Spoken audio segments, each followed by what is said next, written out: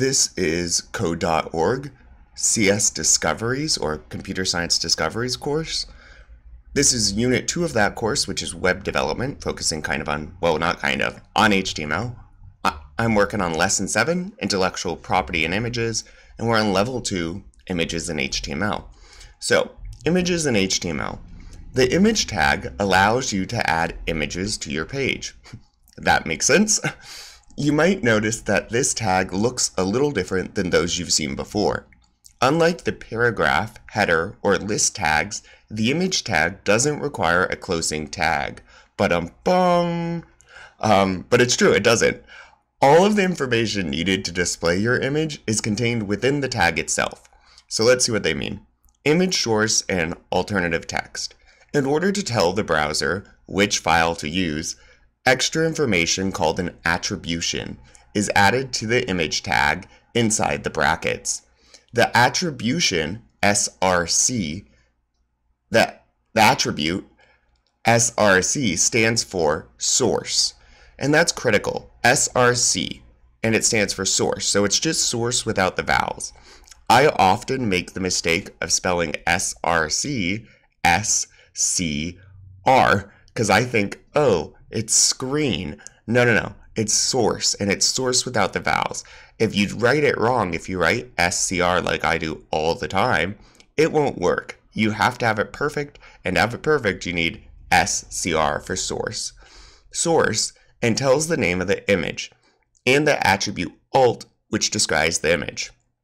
So, this is the photo, obviously, of what they're talking about. Let's see what these tags mean. So, one, create an image tag Create an image tag using the abbreviation IMG, check.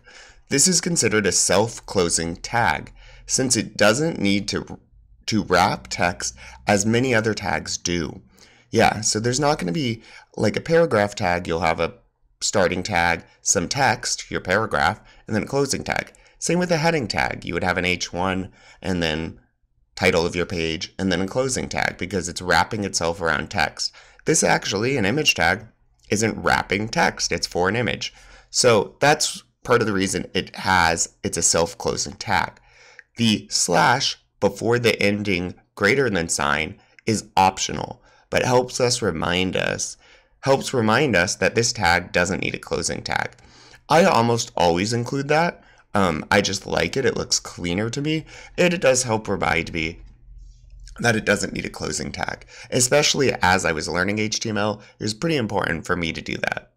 All right, now let's look at this part two. The SRC attribute, which we've just been talking about, is short for source.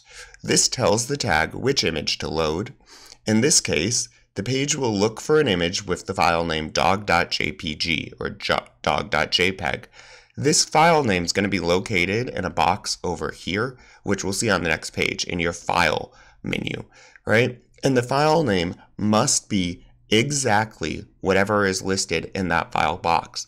So if when I wrote dog, I capitalized G over here, if I wrote it here with a lowercase, your file will not load. I do this all the time. I always make these mistakes. You absolutely must make sure that whatever it says over here in this box is what says here.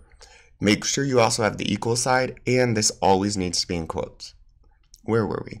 The page will look for an image with the file name dog.jpg in the same directory as the page. That means in the same folder as the page. I'll show you what, mean, what we mean in a second. Image file names include extensions. By extension, they mean everything after the dot, dot, JPEG.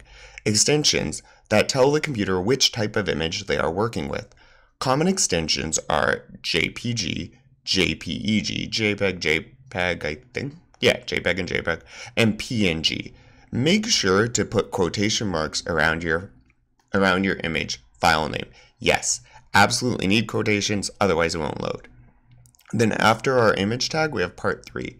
Part three, the alt attribution is short for alternative text.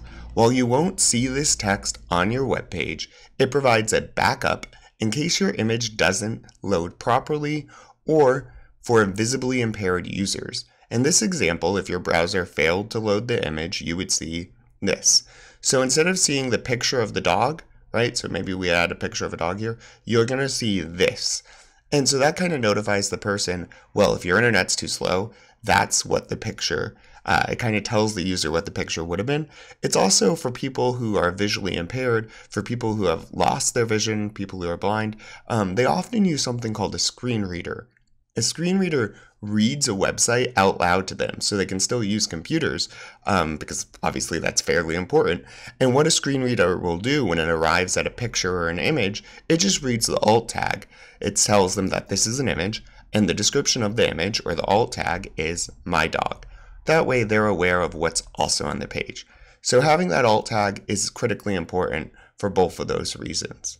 All right, let's keep going with our lesson.